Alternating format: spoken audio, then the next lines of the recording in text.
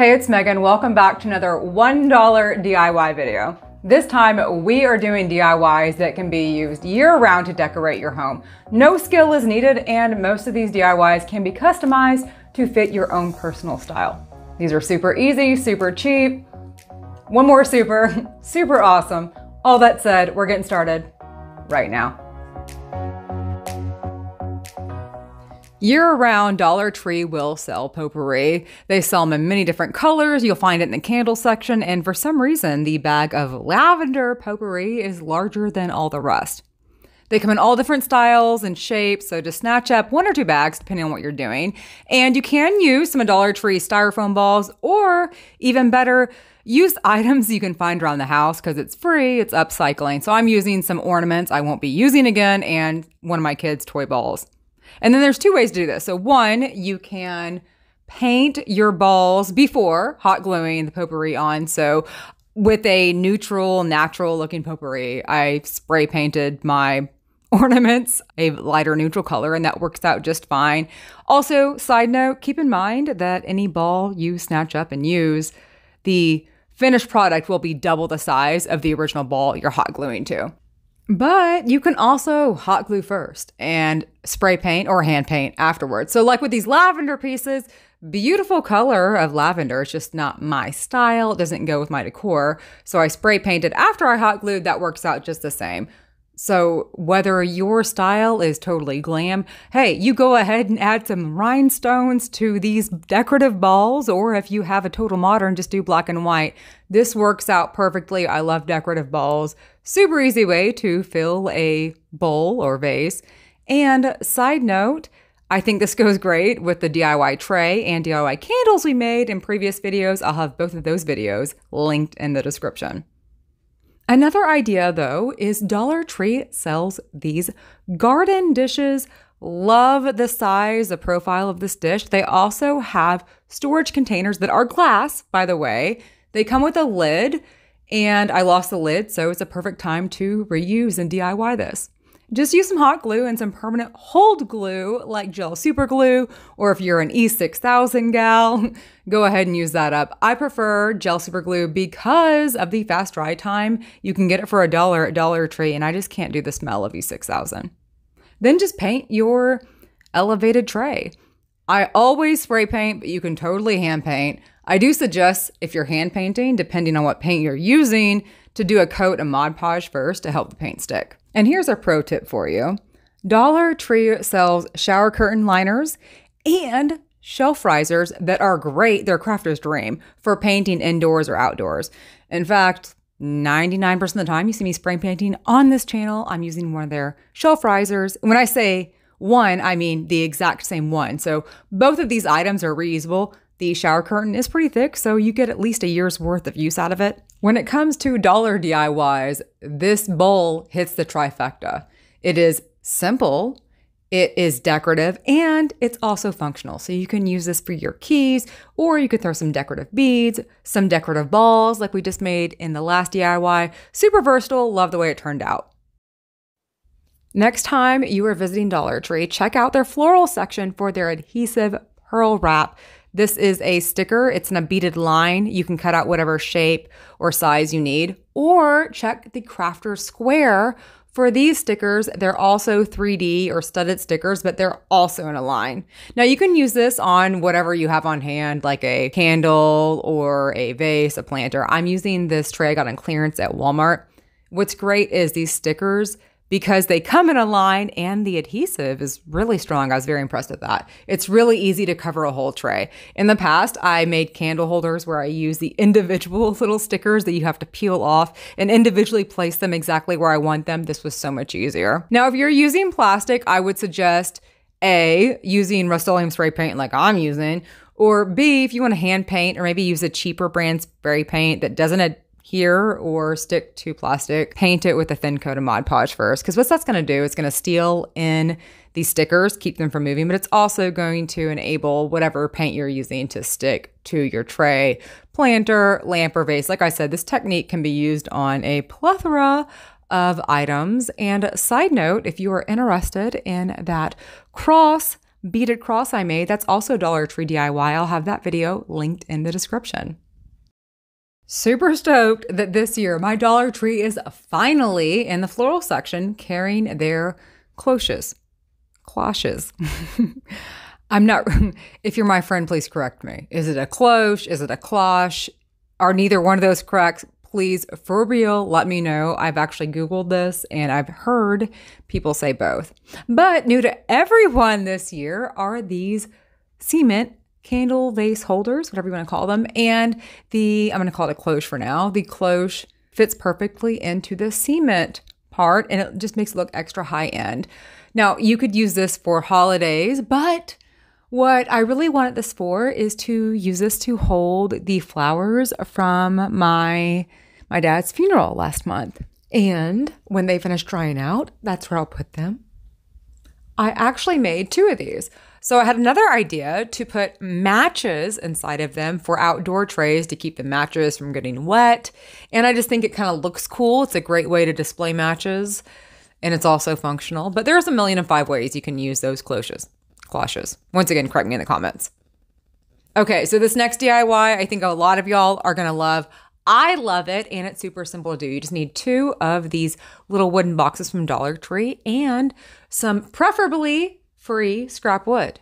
Now you're probably thinking like, oh, okay, that's convenient. free scrap wood. But like I've shown in many other videos, if you go to Facebook, click the marketplace, go to search in the marketplace, you can type in free wood and see what your area has to offer. Now, if you're in an area where your neighbors are not giving away their free scrap wood, no worries, my friend. You have a few options. So, Shannon from the Daily DIYer recently uploaded a video where she shared some pretty cool finds from Dollar Tree, including this real wood, real wood planks sold at her Dollar Tree. Now, I haven't seen these in stores. This video is from Shannon's video. She gave me credit to use it. And then there are a few other options. I have other videos I'll have linked in the description where I show ways to get free wood. Because the wood I'm using is a little bit darker than the wooden boxes from Dollar Tree, I'm using my favorite way to stain wood, which is coffee stain it. And I've done this so many times, but super quick recap just as always, super dark coffee works the best. And if you want your stain darker, you can, you know, repeat the steps. And then we'll need some wood glue, which can be purchased from Dollar Tree. But I actually think it's a better deal to purchase it from Walmart or Home Depot. Even Dollar General, because it might be two or three dollars, but you just really get more bang for your buck. And that's how you're going to connect your boxes to your scrap wood, your wood planks, whatever you're using. I also want to say that in the cracks of the wood boxes, I added wood glue for extra security.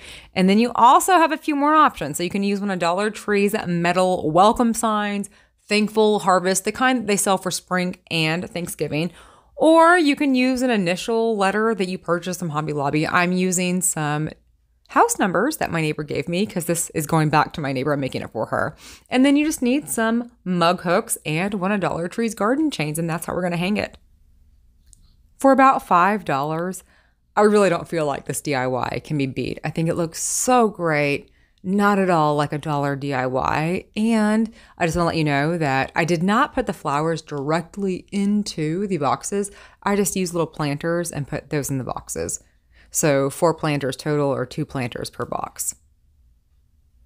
And we're on to the next one where you just need two of Dollar Tree's doormats. It doesn't matter the style or what it says for real. It doesn't matter. Just duct tape, two together, also using Dollar Tree's version of duct tape. And then just trace out a half circle.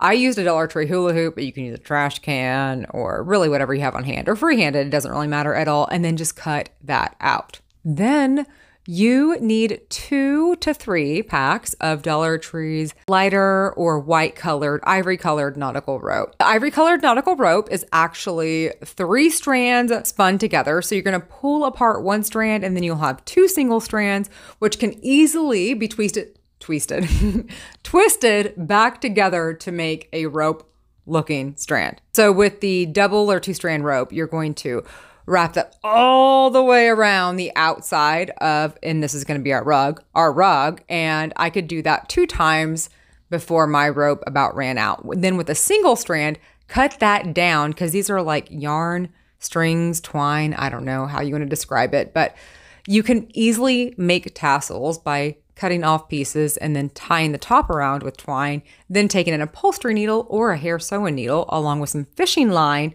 to sew your tassels on the outside of your rug. We are also using nautical rope for this DIY, which can be purchased at Dollar Tree, or I buy mine from Amazon. This rope I've purchased before. They kind of change the prices. I will have it linked in the description, but for 200 feet for $10, that's like half the price of Dollar Tree. You would have to spend like $21 at Dollar Tree. So this is a great deal. Once again, they do change the prices. I'm to have two options linked for you in the description. But back to our rug.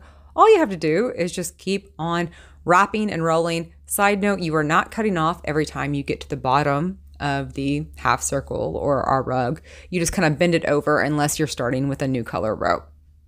And that's it. I also have a lot of my, well, not a lot, I have a decent amount of my nautical rope left over. So if you are using 100% Dollar Tree items and you're purchasing the Dollar Tree nautical rope, I'm going to say you need about 17 packs of rope. But if you purchase off Amazon, you can spend less than $10 and spend less than $15 making this really cool rug. This will look great outside, but I have mine under my kitchen sink. This is exactly what I wanted, what I had envisioned, and a lot less money than what I had been seeing online. And we are on to the next one where all you need is one of Dollar Tree's plates, one of their smaller plates. This is one of their marble plates. It is plastic, but you can use glass just the same. And one of their smaller metal garden tins. These kind, now this is old, I've spray painted this years ago, but these are the kind that are smaller and they're sold for Valentine's Day or Christmas or Easter. They're just a lot smaller and they're usually decorative. Once again, use hot glue and some permanent or strong hold glue like gel super glue, and then spray painted or painted the color of choice. I've shown in a previous DIY where you can use one of their charger plates and one of their full size garden tins to make a different style of lifted tray. And I think these two go great together. I'm using mine as plant stands. Actually, I use them outside as plant stands, but the day that I filmed this, it was raining super hardcore. So this is what they look like indoors with my indoor plants, but I think you can totally get the idea. Hey, thanks for sticking around to the end. If you're still here, I'm assuming either A, you forgot to turn off autoplay on YouTube, or B, you're a regular view and you actually care. So my dad did pass away. Forgive me for not uploading. I'm asking for grace at least for not uploading the past month. Um, I will be uploading more often. I still have to go back to Kentucky to finalize a few things from his funeral. And yeah, but on a plus side, on a positive note, Coming soon, I will be making over my neighbor's pantry. This is a project that started way back in March and I was scheduled to do it May 24th. We were going to film or start filming, but then, you know, unplanned things happen. So I'm putting up a few pictures of what the pantry is going to look like or what it does look like, not what it's going to look like. And so just stay tuned for that. So much love to you, my friend. And thank you so much for watching.